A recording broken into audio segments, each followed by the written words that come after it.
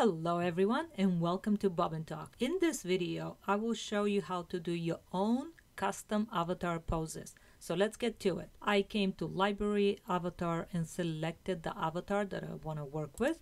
In this case, I added Henry, but you could do this to any avatar you choose. I have him in the 3D window and I've placed him in this blue lagoon environment. That's just a JPEG that I have as a background. You know that Clo 3D comes with a variety of poses and you can activate those by going to avatar, select the pose folder, and then choose any of those poses, all you have to do is left double click and then apply the pose. But in this video, I'll show you how to do your own custom pose. So I'm going to close the library for now because we will work with the tool that is here under avatar display. Hover over until you get to show x-ray joint. Left click once on that and you will have this pop-up window. You may see this instead of the open window. Just left click once on this arrow and the window will open and it will say IK. If nothing is activated here and you just have this purple dot here, you can actually grab the avatar by that dot and you can move the whole avatar anywhere in the 3D window space. So you could use this feature just to move the avatar and position it anywhere you like. If you left click on this, you have different choices here. You could have the full body activated or just partial joints activated. And notice that we have all of these green dots and I'm gonna grab any of these dots, you will notice that the gizmo tool appears. Keep in mind here we are in the partial or half body. That means that you can move only parts of the body. Also, take a look and see that there's a little miniature stick figure here that is your symmetry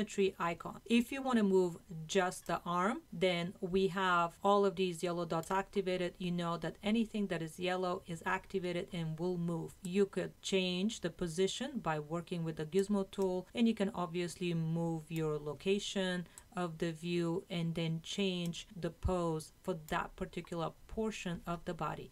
If you want to move on to something else, then left click on a different part of the body and notice which points are turning yellow. If you want to move the whole arm from shoulder all the way down, then you want to make sure that all of the points are yellow anything that is yellow will move. Activate and then work with the gizmo tool to change the position. If you don't want to move the whole arm but just a part of it, click away from the avatar and then only on the points that you want to move. I clicked on the elbow and the whole bottom portion of the arm activated and it's yellow. So I'm going to left click again on it to get the gizmo tool and this way I'm going to move it forward a little bit. I could also grab and move the whole arm by choosing the square here of the gizmo. Just be careful. It's really easy to displace the bones. So it's always nice to have some kind of a reference of an image image or a picture that you like. If you want to use the symmetry icon, select the portion of the body, the limb, the arm, the leg that you want to move,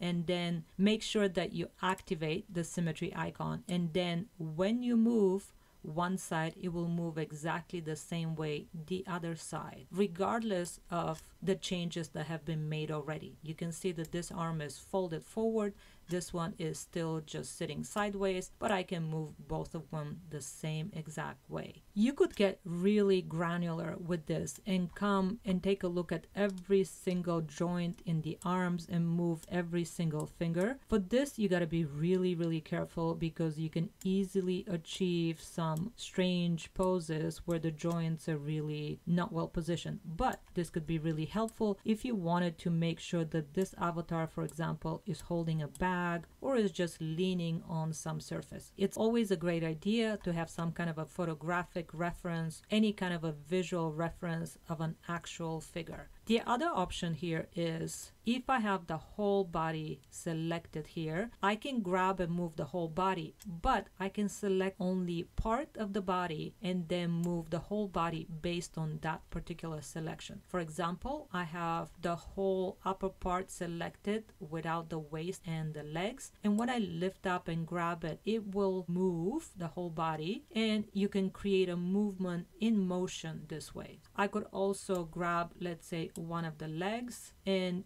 change the position of that and I can still push up and move the whole body. Just be careful, see how you can easily twist it in unnatural positions, make this really go into the body and twist it. If I am here in the partial joint, then I am only working with the selected portion of the body without changing the overall position of the body. And if you feel like you've created a monster or something that really doesn't look good, all you have to do is right click on it, reset joints. That will reset it to the original position that this avatar came in. Be careful with this feature because you may lose some parts because you may lose a pose that you created in earlier steps. So you could also use the edit, undo, or Command Z or Control Z, depending on the computer that you're in. Or you could also open up the history and take a look here at all of your movements and come to that. For example, if I want to go just two or three step backwards, I can select a level to which I want to go back to and it will take me there. This takes a little bit of an adjustment, but with a bit of practice, you'll get really good at this. It is also a good idea to start with a pose that exists in the library and then modify that from there.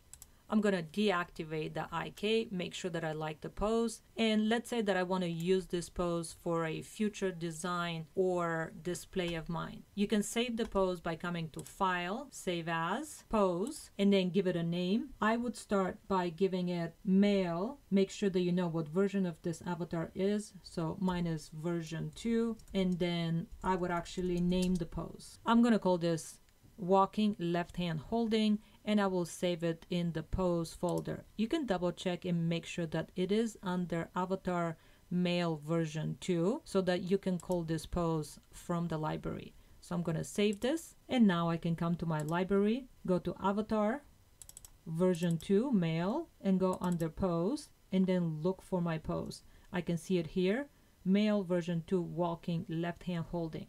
Just to show you how this works, I'm going to give it an existing pose.